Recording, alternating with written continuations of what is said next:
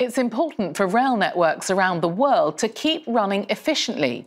Unipart Rail is working with SMEs to increase innovation flows into the industry. And with their company Instrumentel, they're using technology to collect data and turn it into actionable information, as well as improving costs. Carolyn Sim reports.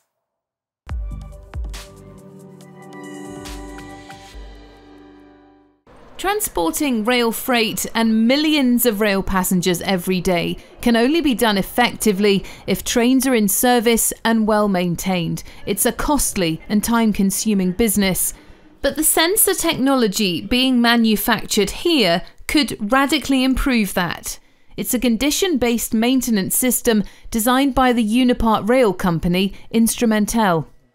Trains are typically maintained the rolling stock on periodicity or based on mileage, and so that means that trains can break down in service, which often incurs fines, or you can over maintain, which often incurs significant cost by monitoring all of the assets to know that you're only maintaining them when they require maintenance means that you can lower the maintenance costs for the operators and for everybody in the industry and hopefully you can stop in-service failures because if you can spot a failure before it happens you can plan your maintenance around it and therefore increase asset availability but lower the whole cost. Instrumentel's data science team systems translates the raw data from its CBM sensors into real time information that's actionable and easy to understand.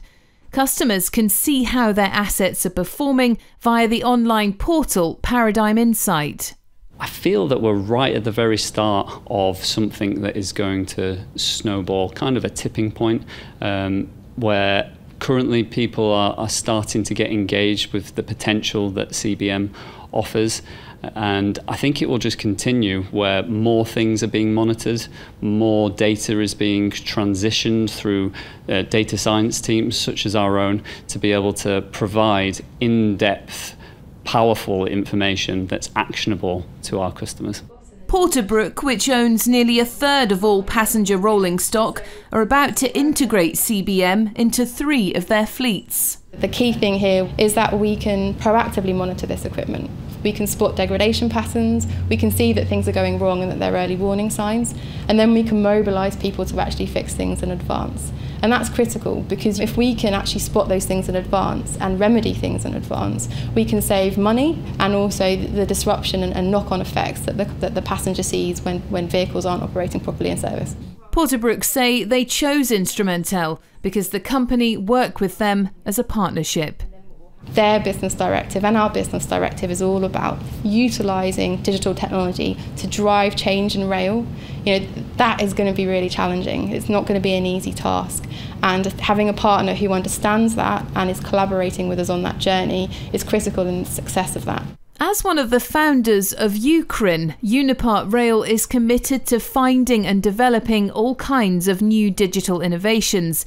They acquired Instrumentel when it was an SME and now they're creating a new £2.5 million UKRRIN hub in Doncaster.